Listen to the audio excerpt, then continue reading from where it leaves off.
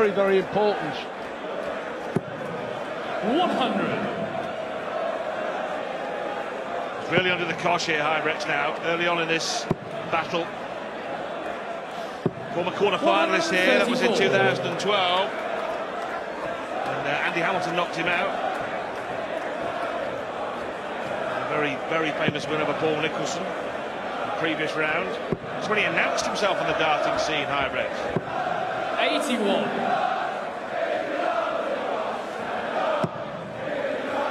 Sell out at the Ally Pally. 58.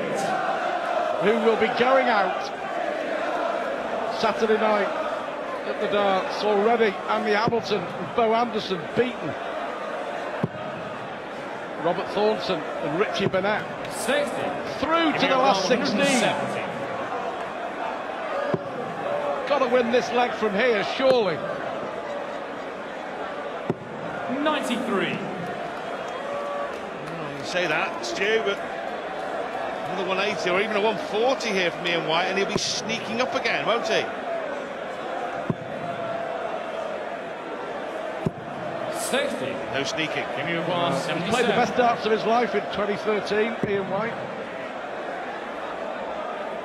He's carrying on that form on the biggest stage in world darts.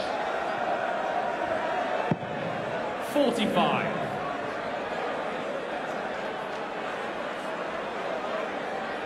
Will soar off that nine darter from Kyle Anderson to beat the Aussie in the opening round. Came from a set down to win as well. 94. Give me a bar, 32. For a first leg, on the second at hand. last, Tim long last for Kim Third leg is in the throw first. Will that be the kickstart? Well, if he can turn it round here, Rob, if he can somehow find a way to break the throw, then in the blink of an eye, there's a whole different context on the match. But not if White carries on playing like this. 180. Wow. A little germ of recovery was starting to flourish. White trampled on it. 140. Match 180s two apiece.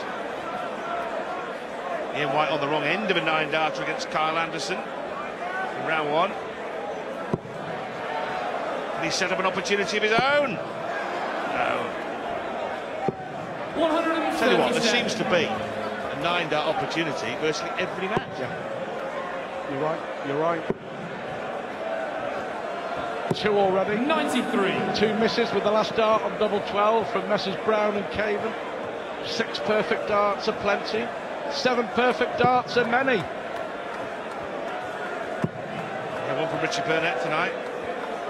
In his uh, win over Andy Hamilton, his 4-1 win. And Burnett waiting to see who wins this, to see who he plays. And as he revealed to you, Stuart, in the interview, In when he plays, as he sometimes turns up on the wrong day, he said. Yeah, I think Richie will be here on the 27th to play Kim Huybrechts or Ian White. The way that Ian White is playing at the leg. moment, Ian White. Ian White is going to take some beating. Game on. Is it going to be Burnett against White for a place in the world quarter-finals? 54. Huybrechts has the look of a man who's struggling with a particularly difficult crossword clue. Knows the answer is somewhere in the back of his mind, but he can't find it.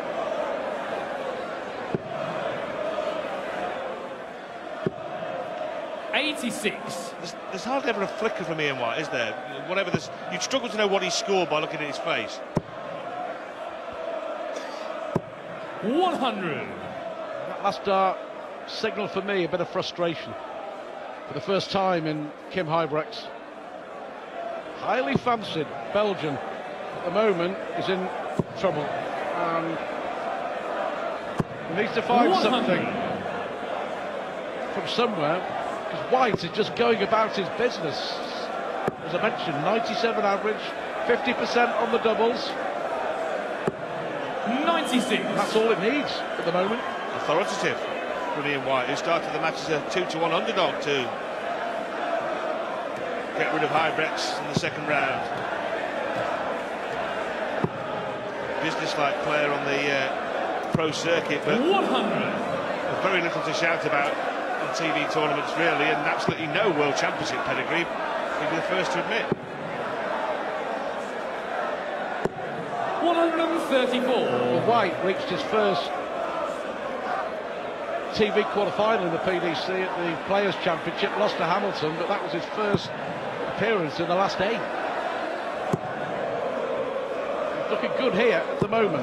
100. Giving you 117. Opportunity. For 19. Right, well, now Ian White has got one of those opportunities that you mentioned in the first set to sneak up. In Uruguay, 115. That was a terrible visit from Kim Huybrechts. He knows it. So does Mr. White.